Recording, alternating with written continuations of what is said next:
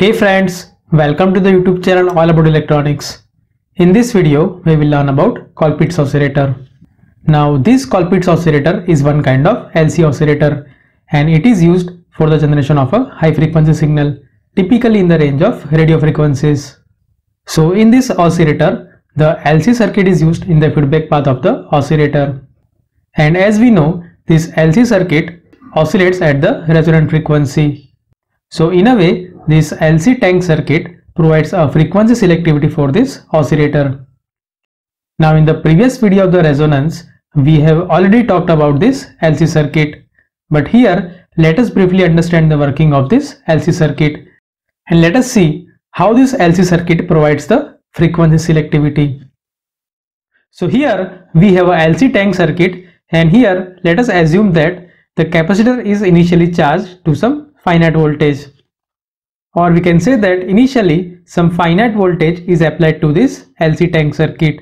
So whenever some finite voltage is applied then the capacitor starts charging towards this supply voltage and as soon as this capacitor fully gets charged then let's say we have disconnected this voltage supply. So as soon as we disconnect this voltage supply then this capacitor starts discharging through this inductor or we can say that the electrostatic energy of the capacitor will get stored across the inductor and the inductor will store this energy in the form of magnetic field. So over the period of time the voltage across the capacitor will reduce and at one point of time the voltage across the capacitor will become zero. So at that point there should not be any flow of the current through the inductor but as we know the inductor opposes the instantaneous change in the current. So according to the Lenz law it produces a back EMF so that the same amount of current can continuously flow through the inductor. So because of this back EMF the same amount of current will flow through the inductor and because of that now the capacitor starts charging in the reverse direction. So gradually the energy which is stored across the inductor will get converted into the electrostatic energy of the capacitor. And once this capacitor gets fully charged, then this capacitor once again discharges through the inductor in the reverse direction. So in this way, in this LC tank circuit, the energy gets transferred between the inductor and the capacitor and because of that, we are getting uh, oscillations in the output and the frequency of the oscillation can be given by the expression 1 divided by 2 pi times under root LC. Now so far in this discussion we have assumed that in this tank circuit this inductor and the capacitor are ideal but in reality this inductor has some finite ohmic contacts as well as this capacitor has some finite leakage current and because of that over the period of time these oscillations will die out. So to get the sustained oscillations, we need to provide the external energy to this LC tank circuit. And in case of the LC oscillators, this energy is provided through the amplifier circuit. Now in general, if we talk about the LC oscillator, then this LC circuit used to have a three elements and depending upon the type of the elements, this LC oscillator can be classified in the different categories. So in the feedback circuit, if Z1 and Z2 are capacitors and Z3 is inductor, then this configuration is known as the Colpitts oscillator. On the other end, if this Z1 and Z2 are inductor and Z3 is capacitor, then this type of configuration is known as the Hartley oscillator. So in this video, we will focus on the Colpitts oscillator.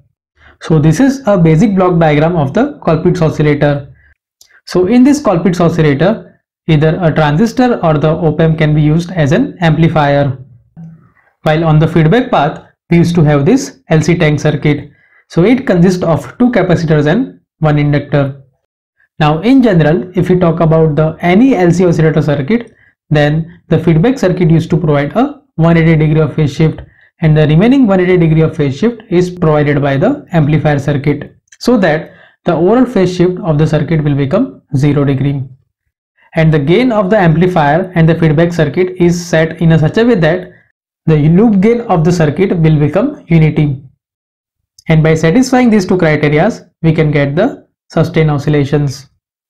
So like I said, in these oscillators, we can use either transistor or op-amp as an amplifier. So first of all, let us see how this Colpitts oscillator can be designed using the transistor. So here, this transistor is configured as an amplifier while this LC tank circuit is connected in the feedback path. So whenever the circuit is just turned on, at that time, this LC tank circuit starts resonating at the resonating frequency, but the amplitude of this frequency will be very low.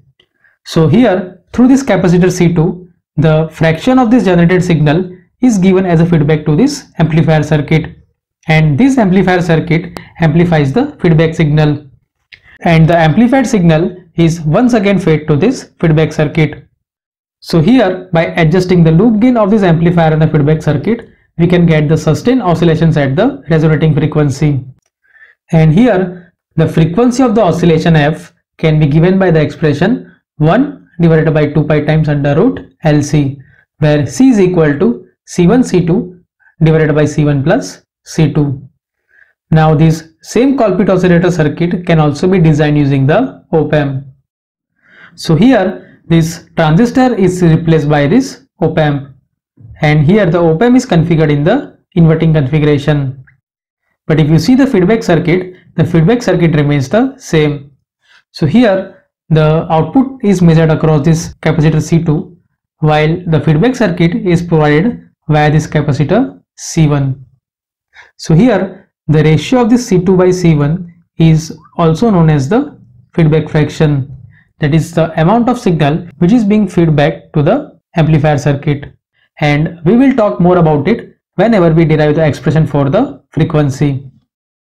So now let us derive the expression of the frequency for the Colpitts oscillator. So for the derivation, we will assume that the gain that is provided by the amplifier is equal to AV and the amplifier has a finite output impedance of R0. Apart from that, we will also assume that the input impedance of the amplifier is very high, meaning that no current is flowing into the input terminals. And for the simplification, we will consider this capacitor C1, C2 and inductor L as Z1, Z2 and Z3. So under this assumption, as no current is flowing into the input terminals, this impedance Z1 and Z3 will be in a series. And the equivalent circuit in the feedback can be represented like this. So at one end, we have a output voltage V out and the other end is connected to the ground and through this impedance Z1 the feedback signal is given to this amplifier circuit. So here this feedback voltage Vf will be equal to Z1 divided by Z1 plus Z3 times V0 or we can say that the feedback fraction beta that is Vf by V0 is equal to Z1 divided by Z1 plus Z3. Now if we see this circuit from the output side, then the entire feedback network will appear as a load to this output terminal. And let's say the equivalent impedance of this feedback network is equal to Zp. So we can say that Zp will be equal to Z2 in parallel with Z1 plus Z3. So this impedance will appear as a load across this output terminal and the equivalent circuit will look like this. So here the input signal is amplified by the voltage gain of AV and the amplifier also provides a 180 degree of phase shift. So if we consider the output impedance of the amplifier then the output which is appearing across this load Zp will be equal to Zp divided by Zp plus R0 times minus AV times Vin or we can say that V0 by Vin will be equal to minus AV times Zp divided by Zp plus R0. Now here let's say the ratio of this output voltage by input voltage is equal to A which is the overall gain of the amplifier now if this output impedance R0 is 0, in that case this A and AV both are equal. But because of some finite output impedance, this overall voltage gain will be slightly less than the AV. So this voltage gain A can be written as minus AV times Zp divided by Zp plus R naught. So here let's put the value of Zp in this expression and we know that Zp is equal to Z2 parallel Z1 plus Z3.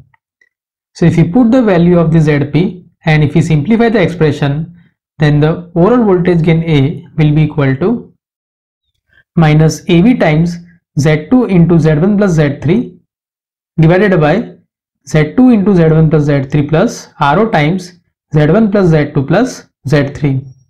Now earlier like we have discussed the feedback fraction for this oscillator will be equal to Z1 divided by Z1 plus Z3. So if we multiply this feedback fraction beta by this overall voltage gain then we will get the loop gain. So the loop gain A beta will become minus AV times Z2 into Z1 plus Z3 times Z1 divided by Z1 plus Z3. So here this term is nothing but the feedback fraction and in the denominator we will have Z2 times Z1 plus Z3 plus R0 times Z1 plus Z2 plus Z3. So if we simplify that expression, then the loop gain A beta can be represented like this. So for the Colpitts oscillator, now let us put the value of the Z1, Z2 and Z3. So here for the Colpitts oscillator, this Z1 is equal to 1 by j omega C1 while Z2 is equal to 1 by j omega C2 and Z3 is the reactance of this inductor which is equal to j omega L. So if you put the value of this Z1, Z2 and Z3 then the loop gain A beta can be represented like this. And if we simplify this expression then the A beta can be represented like this.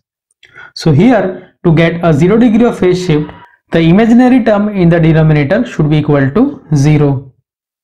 Or we can say that C1 plus C2 should be equal to omega square L times C1 times C2 or we can say that omega square should be equal to C1 plus C2 divided by L times C1 times C2.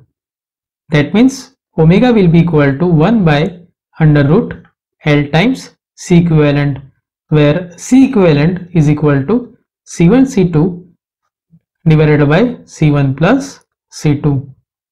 So in this way we got the expression of the frequency for the Colpitts oscillator.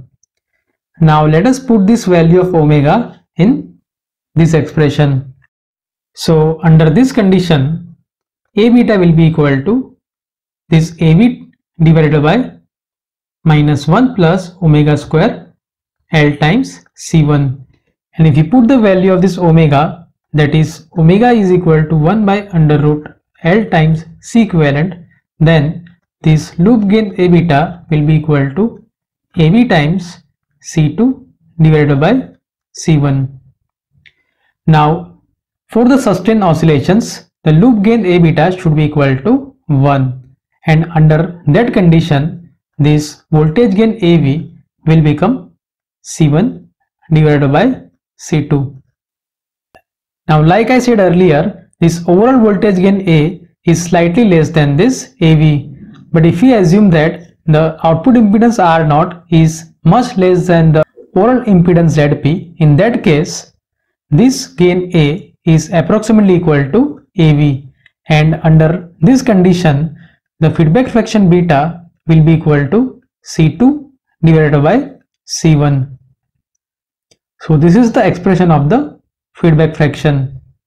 So using this expression of omega, we can find the frequency of oscillation for the Colpitts oscillator and using this feedback fraction beta we can set the gain of the amplifier such that we can get the sustained oscillations. So to understand that let us take one example. So here we have given this Colpitts oscillator circuit and in this circuit we have been asked to find the frequency as well as the gain which is required for the sustained oscillation. So here as we have given the value of C1, C2 and L, so it is easy to find the frequency.